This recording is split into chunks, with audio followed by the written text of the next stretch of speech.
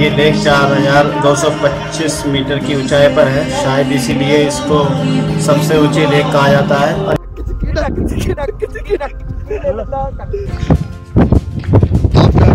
बहुत ज़बरदस्त बर्फ़ पड़ी हुई है यहाँ पर। वैसे पीछे अगर आप देखोगे तो बहुत बढ़िया बर्फ़ पड़ी हुई है। जय हिंद दोस्तों स्वागत है आपका हमारे चैनल धनराज वर्ल्ड में। तो दोस्तों आज हमारे लद्दाख में पाँचवा दिन है और आज हम जाएँगे डिस्ट्रिक्ट से पैंगोंग लेक की तरफ़। अभी सुबह के करीब करीब नौ बज रहे होंगे मेरे हिसाब से। हाँ सुबह के नौ बजे हम जा रहे हैं। नाश्ता करेंगे, उसके बाद निकलेंगे यहाँ से।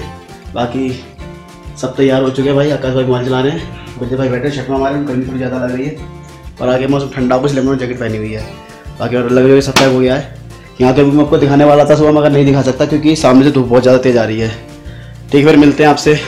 हम नाश्ता करके आते हैं, उसके बाद मिलते हैं। दोस्तों, ये जो आप रिवर देख रहे हो, मैंने इसके बारे में आपको कल बताया था। ये सियोक रिवर ही है, भैया ने भी हमको बताया है। बाकी ये रिवर पैंगोंग लेक से आ रही है लगभग, और ये पैंगोंग लेक से होती हुई पाकिस्तान में जा रही है जैसा कि मैंने आपको कल बताया था।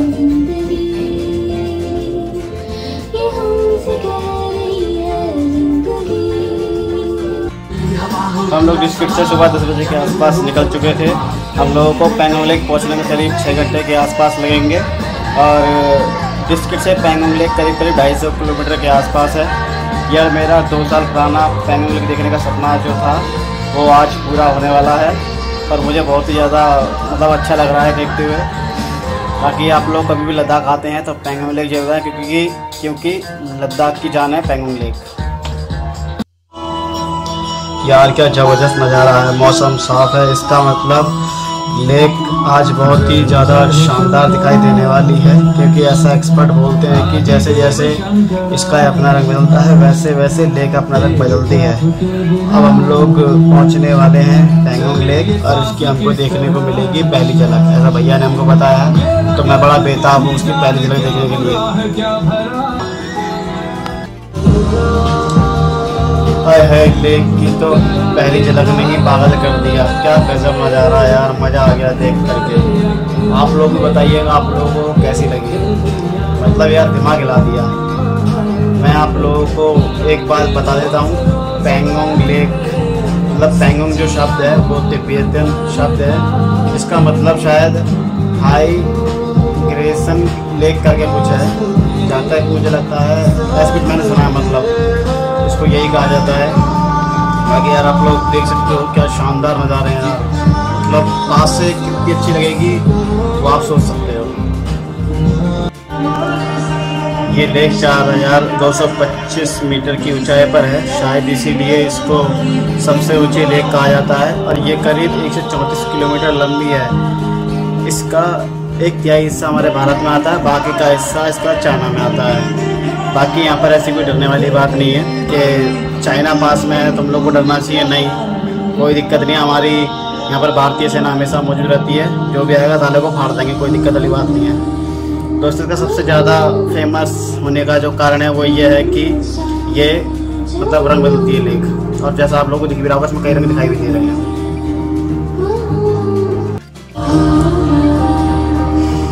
यार मतलब मैं इस लेक के बारे में और क्या ही बोलूँ। इसने तो मेरा दिमाग ही के रख दिया, आप लोग देख रहे हो यार मतलब क्या शानदार है यार। इसको जितना बोलूँ, उतना ही कम है। बाकी मुझे नहीं लगता कि मैं इससे ज़्यादा शानदार लेक कहीं और देख पाऊँगा।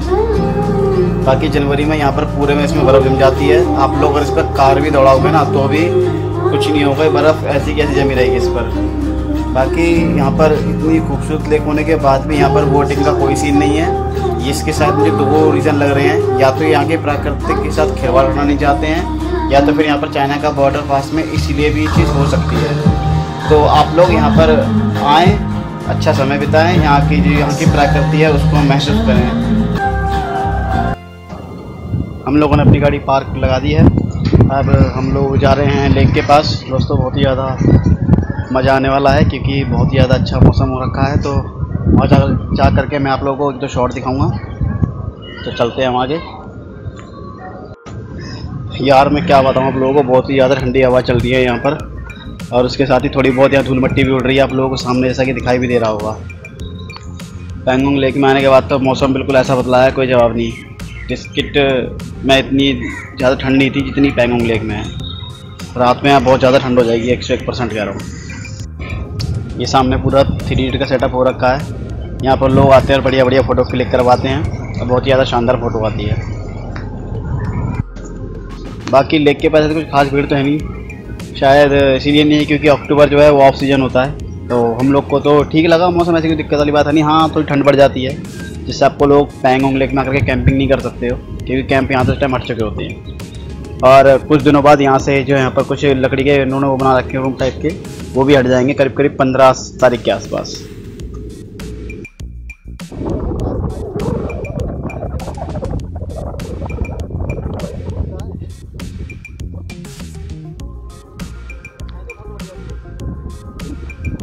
मैं अभी एक छोटा सा शॉट ले रहा हूँ, उम्मीद करता हूँ आप लोगों को पसंद आएगा। बाकी दोस्तों, इतना ही पानी आप लोगों को साफ़ दिख रहा है। वैसे तो साफ़ है, मगर इसका जो टेस्ट है, बहुत ही ज़्यादा नमकीन है। हमने पी करके देखा था, बहुत ज़्यादा नमक था मतलब इस पानी के अंदर। इसीलिए इसके अंदर कोई जीव जंतु नहीं है। और हाँ यहाँ पर आप किसके ऊपर टहरते हुए दो कुछ पक्षी वगैरह दिखाई दे जाएँगे, ये नहीं पता, उनका मुझे नाम नहीं पता, क्या चीज़ है वो, मगर वो है। तो दोस्तों, मैं भी वीडियो बना नहीं पाया था क्योंकि मेरा फ़ोन हो गया स्विच ऑफ़ दोस्तों, ये, मैं हम लोगों ने भी बैंक में लेके हुए रूम लिया है रेस्टोरेंट करके है। या यहीं पर हमने रूम लिया, हमारा रूम ये वाला है, सामने वाला। मैं आपको तो दिखा दूँगा इसकी तरह करके कि कैसा रूम है हमारा अंदर से। तो बाकी हमने चार लोगों ने इसको लिया है, पंद्रह सौ रुपये में। और वैसे हमारा प्लान तो ये था कि हम अपना कैंप लेके रहेंगे, मगर कैंप यहाँ से हटा दिए गए हैं सारे। आप देख भी रहा होगा आप लोगों को उसके पीछे कैंप थे सारे के सारे। तो सब हटा दिए गए हैं। मतलब यही है कि सामने रहा हमारा रूम और ये हमारी गाड़ी है जिसमें हमारी और ये सामने पैंग मिल गए तो अलग ही नज़ारा होने वाला सुबह भी क्योंकि हम लोग यहीं रुकेंगे सुबह से निकलेंगे। ठंडी बहुत चली हुई बहुत ज़्यादा ठंड लग रही है। बोल भी नहीं पा रहा हूँ अभी।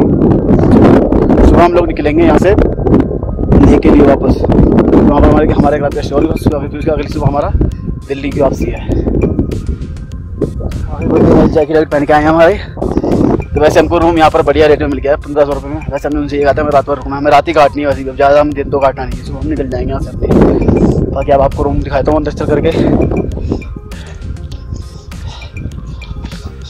भाई, खुला छोड़ दे अभी। वो कट जा।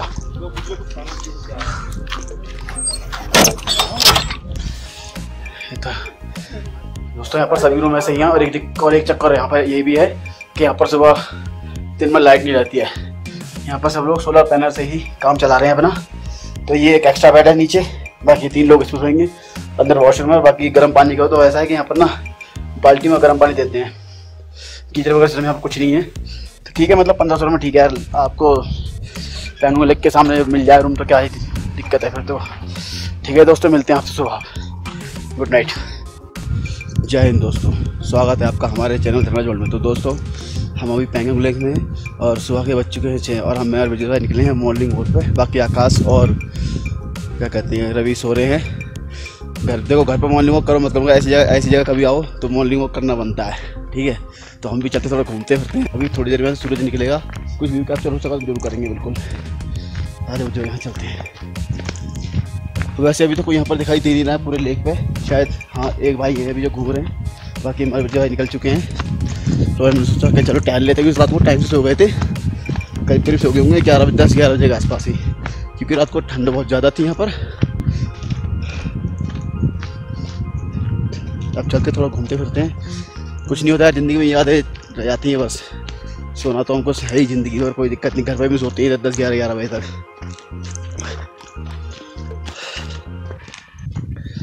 ये भाई घूमते फिरते दिखाई दे रहे हैं हमको थोड़ा सा। ये नहीं तो कहते पाँच बजे, साढ़े पाँच बजे सूरज निकल जाएगा। है? अभी टाइम अभी तो लग रहा है ना? बाकी अब आपको दिखाता हूँ लेक का नज़ारा किस तरीके का है। दिन में कल कैसा कैसा था अभी सुबह कैसे दिखाई दे रहा है। चलते हैं बैक कैमरे की तरफ़। तो आप देख सकते हो, बढ़िया एकदम। लेक में कोई कलर नहीं, क्योंकि शायद हमारे आसमान में कोई कलर नहीं है। बाकी मुझे लग रहा है शायद सूरज का कुछ मुझे लग रहा है कि निकल सकता है ऐसे। कोई नहीं देखते हैं कब तक निकलेगा। बाकी आपको नज़ारा दिखा देते हैं। हाँ ब्रजेश भाई। ब्रजेश भाई हमारे इतने कमज़ोर होने के बाद भी इतनी उठ के आ गए मेरे साथ। बाकी वो दोनों हाथी साले खा खा के पैसे हो रहे हैं, फिर भी सो रहे हैं।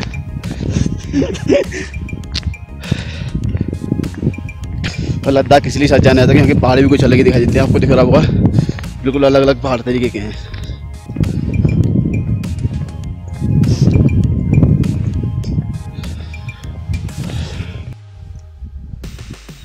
दोस्तों ये सूरज की पहली किरण पड़ती हुई बढ़िया।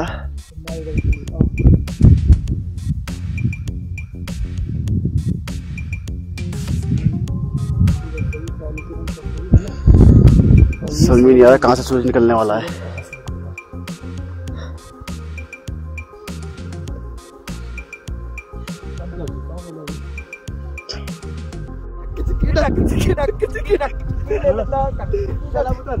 सही है सही है सही तो दोस्तों बहुत ज़्यादा दोस्तों पैंगोंग से निकल चुके हैं। ले अब जा रहे हैं हम ले। कल सुबह हमारी फ़्लाइट है मॉर्निंग में। बाकी मैं आपको लास्ट बार एक बार पैंगोंग लेक का नज़ारा दिखा देता हूँ। अच्छा टैंक वैंक पार्क है क्या? मतलब चाइना फाइना से आर्मी अलर्ट रहती है भाई पूरे टाइम नेवी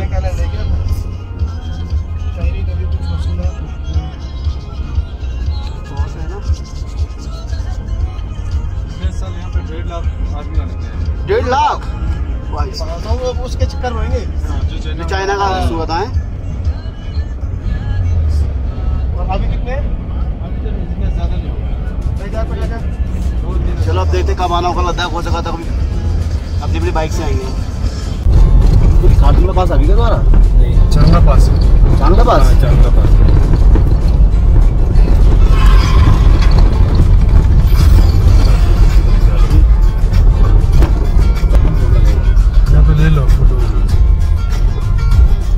हर पल तुझे मैं संभालूं। की चांगला पास से तो दोस्तों, हम लोग पेंगुलक से निकल करके ले ले ले जा रहे थे।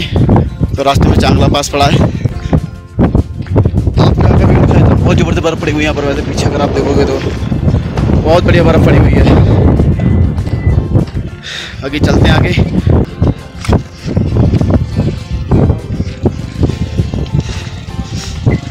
ये हैगा हमारा सत्रह हज़ार छः सौ अठासी फिट पे।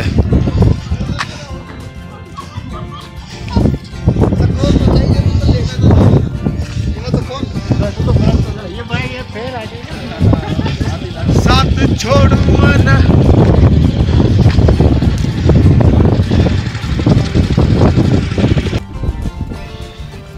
बाकी दोस्तों यहाँ पर एक चांगला बाबा का स्थल भी है। बाकी कोई नहीं हम तो जा रहे हैं। ठीक है ठंडी बहुत ज़्यादा है अपन चले। क्योंकि हमें अभी ले पहुँचना है। बाकी चलते हैं आगे। तो दोस्तों हम लोग चांगला पास से आगे आए तो आप देख सकते हैं टेम्परेचर कितना ज़्यादा हाई है। ये देखो बिल्कुल पहाड़ों में हो रहा तो ज़बरदस्त जमी पड़ी है। ऐसे भी बहुत कम मिलते हैं देखने को।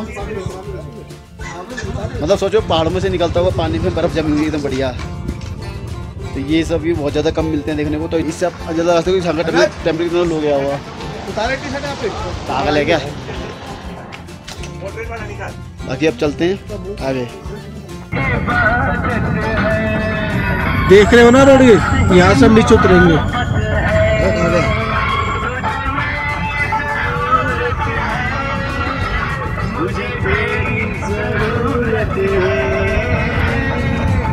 बाकी दुनिया है बेमानी।